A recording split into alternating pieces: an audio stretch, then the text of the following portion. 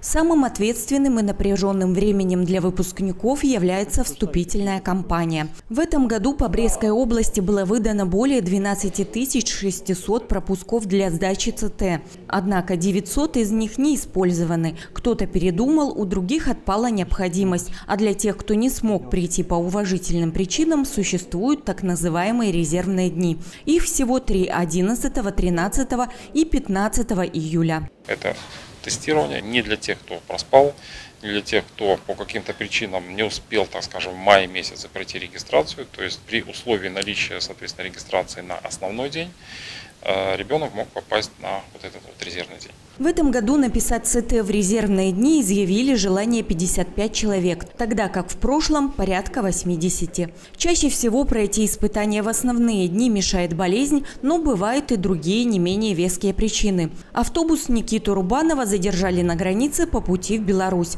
но молодой человек поставил цель и решил использовать свой шанс – сдать математику в резервный день. Два года назад уже сдавал ЦТ, Поступил в Польшу, там перешел на заочное, вот хочу поступить в политехнический, на экономический. Цены очень повысились на 40% на жилье, и поэтому я решил, что лучше перейти на заочку, а здесь второй диплом можно получить, почему нет? Процесс проверки документов и сдачи ЦТ в резервный день стандартный. Все так же строго. За пользование шпаргалками и гаджетами немедленное удаление. А плюс в том, что людей в аудиториях гораздо меньше. Сдаю историю в Беларуси. Почему в резервный день? У меня, получается, такое была неделя, что очень сильно заболела.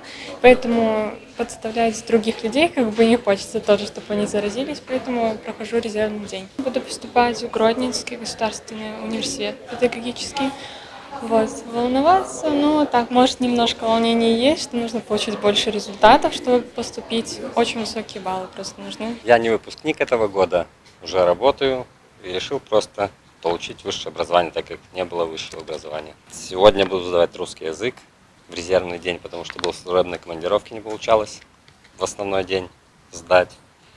Буду поступать, наверное, в Брестский государственный технический университет.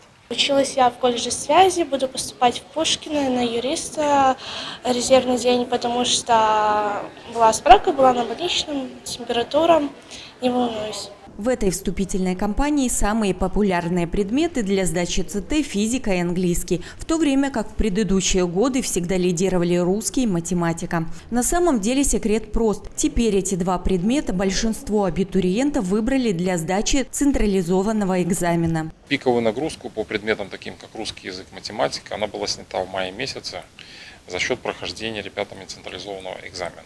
Уже на централизованное тестирование пошли те ребята, которым нужен третий сертификат, и, соответственно, те ребята, либо, соответственно, так скажем, взрослые, которые перепоступают, повышают квалификацию, либо поступают в высшее учебное заведение и так далее. Сертификаты за резервный день можно будет получить с 20 июля. Есть одна особенность, на которую стоит обратить внимание целевикам. При получении сертификата абитуриент предъявляет паспорт и аттестат о среднем образовании. Особенно, так скажем, обращаю внимание э, целевикам. То есть целевики, они уже зачислены на университет, но некоторые приходят получать сертификат, им будет отказано, поскольку у них не будет аттестата на руках.